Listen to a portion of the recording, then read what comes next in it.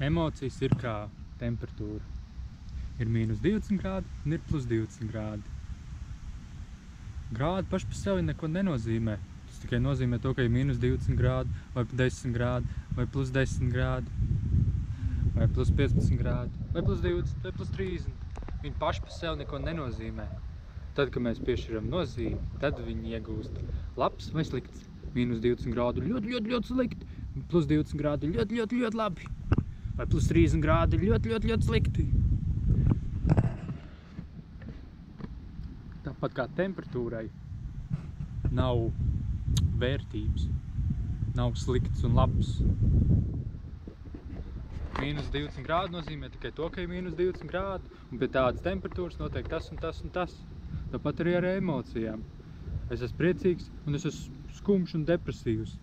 Ka es esmu priecīgs notiek tas un tas un tas, un ka es esmu depresīvs notiek tas un tas un tas. Pats par sevi tas neko nenozīmē. Viņiem nav labs un slikts. Tā ir taisnība un tā ir, tie ir meli. Tas ir labi un tas ir slikti.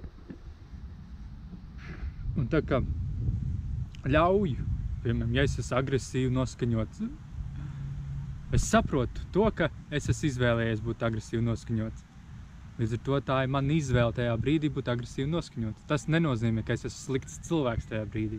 Tas nenozīmē, ka es esmu labs cilvēks tajā brīdī, ka es, esmu, ka es esmu agresīvs. Tas tikai nozīmē to, ka es esmu izvēlējies pieredzēt agresīvo vibrāciju.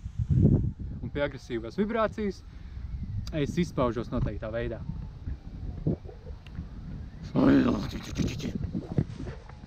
Es vārdus nevarēšu salikt kopā. Es gribēšu kādam iesist. Es gribēšu kliegt.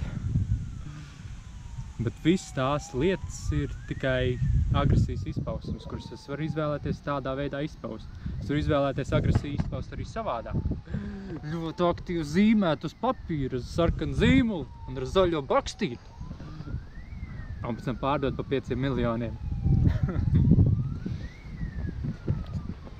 Problēma sākās tajā brīdī, ka mēs sev nospiežam. Mēs sev aizliedzam just agresiju, mēs sev aizliedzam būt dusmīgi. Un tās lietas parasti nāk no, ja cevišķi parādās, ja tu esi reliģijas bāzēts uz uh, dvēselisko ceļu, kur parādās visādas mācības, ka dusmoties nevajag, nevajag būt agresīvam, jāmīl visi. Visi pēc kārtas ir jāmīlē, jābūt pozitīvi noskaņotam. Un tajās brīžos arī parādās, ja tu ja es esmu samācījies, jābūt visu laiku pozitīvam, jābūt visu laiku pozitīvam. Tas nozīmē, ka tajā brīdī, kā manī parādīsies uh, dusmas, agresija, aizvainojums un viss citas saucamās nepatīkamās emocijas, tas nozīmē, ka es viņus apspiedīšu, jo es viņus nedrīkst just un es automātiski pārmetīšu. Man jājūtas pozitīvi un mudīgi, mudīgi kā viņu nomainīt uz pozitīvo. Un tur parādās jau pretestība. Es gribu aizbēgt no viņas. Kaut es izvēlos būt dusmīgs. Es saprotu, ah, šajā brīdī es esmu dusmīgs. Baigi interesanti. Es esmu dusmīgs. Kā gribētos kādam iešaut pa muti tas ļaušanās tai dusmai jau kā tādai, vienkārši sajust viņu, man viņa pat nav jāizpauž, man vienkārši jāļauj sev viņu sajust, viņi tajā brīdī ir, un ja viņi ir, viņi ir. Tas nenozīmē, ka esmu slikts cilvēks, ka kaut kas noticis nepareizi un tam līdzīgi. Viņi vienkārši šajā brīdī ir. Tāpat kā šajā brīdī ir nezinu cik kā, kā 30 grādi. Viņi vienkārši ir.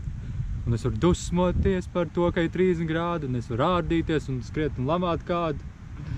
30 grādi, 30 grādi, tāpat arī es varu būt dusmīgs, un dusmīgs es esmu. Tas nenozīmē, ka tas ir, tas ir vainīgs, un es esmu vainīgs pie kaut kā. Un tā lai, ka debesis ir zils, tāpēc es esmu dusmīgs.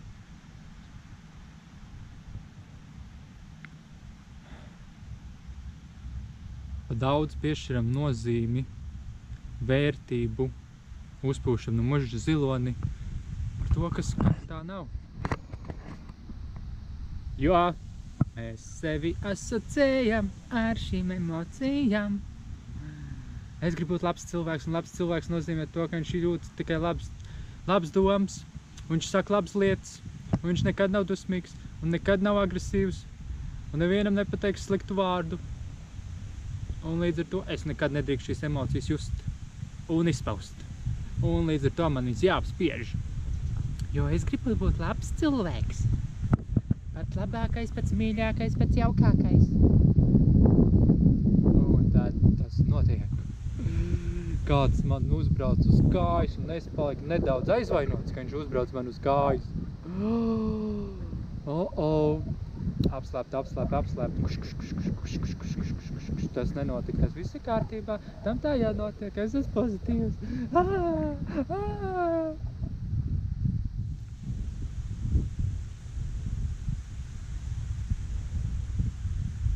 Vienmēr viss nonāk atpakaļ pie tā paša. Mēs piešķiram nozīmi jebkurai lietai, jebkurai darbībai. Mēs radam asociācijas, mēs radam saites, mūsu smadzenes ir veidots šajā fiziskā pasaulē, lai viņas meklētu sakarības. Tā lai, ka vakar līdz lija, šodien ir slapja zāle. Tas nekas, kas suns viņu varbūt pirms stundas apčurāja. Bet mēs ar, atrodam sakrību to, ka vakar lī, tādēļ ir slapja zāle.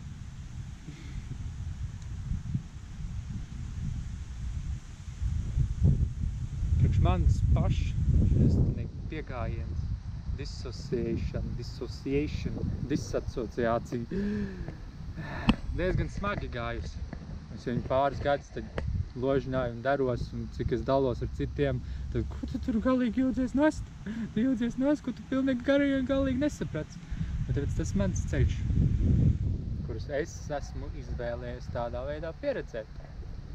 Un es saskatu, ka tā arī ir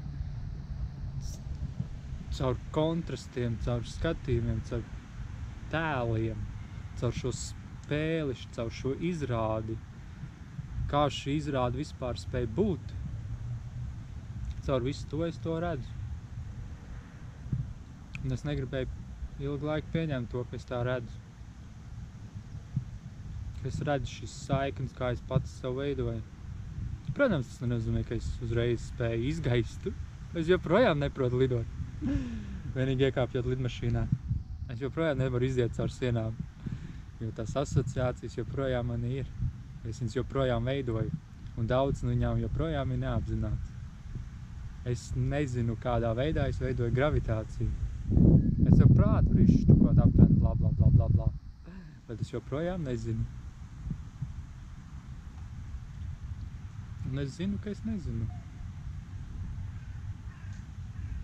šis stāsts. Emocionālais stāsts. Un šis vispār video bija par emocijām, jā.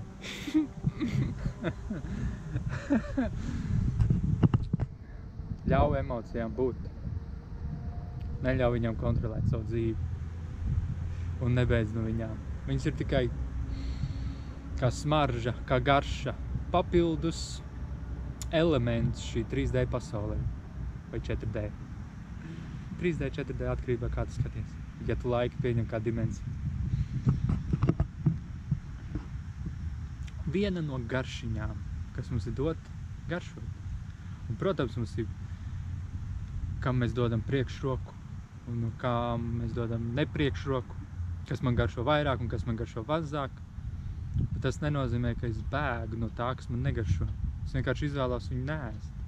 Un tas ir pats galvenais saprast, ka es izvēlos būt priecīgs un būt skumjš.